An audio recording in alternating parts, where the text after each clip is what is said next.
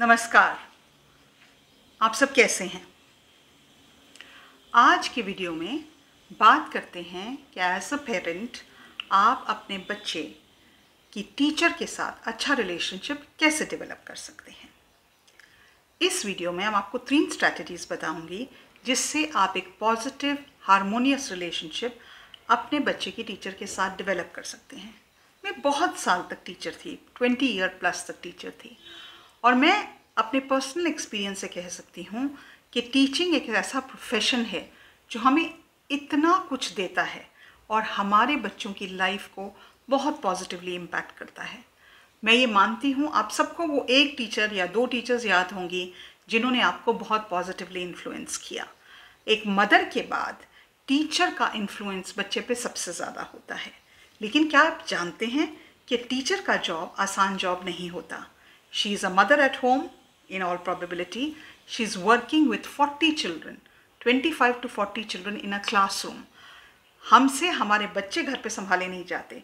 तो क्या आप इमेजिन कर सकते हैं कि एक टीचर के लिए वो 25 या 40 या 30 बच्चे क्लासरूम में मैनेज करना कितना चैलेंजिंग है। जब आप अपने घर में अपना काम का ध्यान रखते हो, आप अच्छे से काम करते हो you feel very good when somebody appreciates you तो आज वो तीन चीज़ें क्या हैं? जिससे आपकी रिलेशनशिप आपके बच्चे की टीचर से बेटर हो सकता है।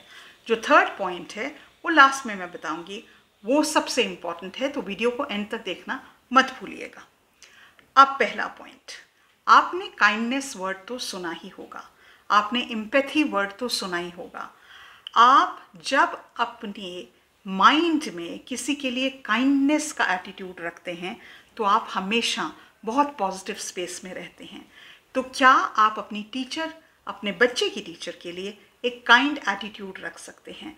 आप ये इमेजिन कर सकते हैं, सोच सकते हैं कि उस पर्टिकुलर मेल टीचर या फीमेल टीचर के लिए कितना काम है, कितना चैलेंजेस हैं उसको, उस क्लास को मैनेज करने के लिए। उसको पेपर्स भी चेक करने हैं, उसको सिलेबस भी पूरा करना है, उसने रिपोर्ट कार्ड्स भी बनाने हैं, उसने एक्स्ट्रा क्यूरिकुलर एक्टिविटीज़ भी रखनी है और ये सब करते हुए उसको क्लासरूम के अंदर ऐसे जाना है जैसे उसको ज़िंदगी में कोई प्रॉब्लम ही नहीं हो।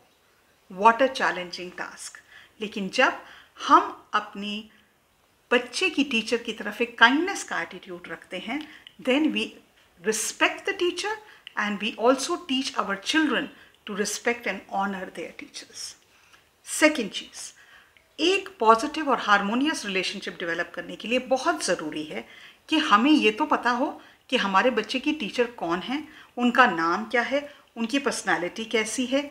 उसके लिए पेरेंट टीचर मीटिंग अटेंड करना अत्यंत आवश्यक है। मैंने एक वीडियो बनाया है, जिसका डिस्क्रिप्शन लिंक मैं ऊपर दे दूँगी। About the five questions you need to ask the child's teacher when you go to a parent teacher meeting parent teacher meeting क्यों इंपॉर्टेंट है?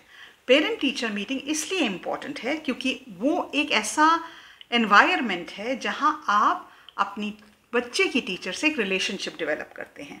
आप उनको जाके ये बताते हैं hello I am the parent of this and this child आप बताइए, आपको मेरे बच्चे से लेकर क्या चैलेंजेस फेस हो रहे हैं? In contrast to that the teacher can tell you कि ये चैलेंजेस हैं जो मैं फेस करती हूँ आपके बच्चे के साथ। दोनों का मोटिव चाहे वो पेरेंट हो, चाहे वो टीचर वो एक ही है। वो ये है कि बच्चा प्रोग्रेस करे, बच्चा पढ़ाई में अच्छा करे, बच्चा अपनी पर्सनालिटी डेवलपमेंट में अच्छा करे, बच्चा अपने वैल्यू सिस्टम्स को समझे और आगे तरक्की की तरफ़ बढ़े। पेरेंट टीचर मीटिंग एक ऐसा फोरम है जहाँ पे you both come together and at the same time you can discuss, engage with, with each other, and find out solutions to the challenges the child is facing. तीसरा और सबसे important note point जो मैंने आपको सबसे पहले बताया था अ नोट ऑफ़ एप्रिसिएशन क्या आपने कभी अपनी बच्चे की टीचर के कोई नोट लिख के भेजा है कि ma'am thank you for your hard work या आपने कभी उनको वर्बली अप्रिशिएट किया है। एक व्हाट्सएप ग्रुप में मैसेज डाला है thank you ma'am for all the hard work that you do इतना मेहनत करने वाले जो लोग हैं हमारी ज़िंदगी में, जो हमारे बच्चों की ज़िंदगी को संवारते हैं, उनको अप्रिशिएट करना तो बनता ही है। ये छोटी छोटी चीज़ें हमारी ज़िंदगी को खूबसूरत बनाती हैं। तो हम इनको क्यों नहीं करते? अगर आपको कोई अप्रिशिएट करता है तो आपको अच्छा नहीं लगता। It makes your day you feel very good को कहते हैं, अरे, आप तो बहुत अच्छे लग रहे हो you are like wow you start flying on cloud nine क्या आपके बच्चे की टीचर को यह हक नहीं बनता कि आप उनको अप्रिशिएट करें?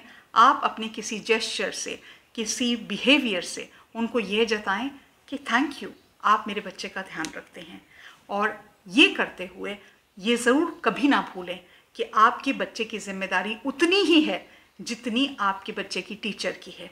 आजकल के पेरेंट्स का एटीट्यूड होता है स्कूल में भेज दिया अब पढ़ाई की ज़िम्मेदारी बच्चों की टीचर की है, उसके बिहेवियर की टीचर की है, उसके डेवलपमेंट की टीचर की है? No teacher is second in command you are the first commander chief how your children child behaves develops is primarily your responsibility मैं उम्मीद रखती हूँ, आपको ये तीन स्ट्रैटेजीज़ फॉलो करने में कोई मुश्किल नहीं होगी। आप कमेंट सेक्शन में लिखें, आपने इनको फॉलो किया तो क्या हुआ? I can guarantee it will have an extremely positive impact in your child's life and in your child's teacher's life अगर आपको ये कंटेंट पसंद आए तो इसको ज़रूर लाइक करें और शेयर करें। At the same time you can follow me on Instagram at doctor Nalini Taneja उसका जो कंटेंट है, मैं अलग बनाती हूँ तो उसको ज़रूर फॉलो करें। आपके माइंड में कोई क्वेश्चंस हैं पेरेंटिंग को लेके पर्सनल डेवलपमेंट को लेके फाइनेंसिस को लेके, आप कमेंट्स में लिखिए। And I will make sure that I will take that idea from your question and make a video around it आज के लिए इतना ही. नमस्कार.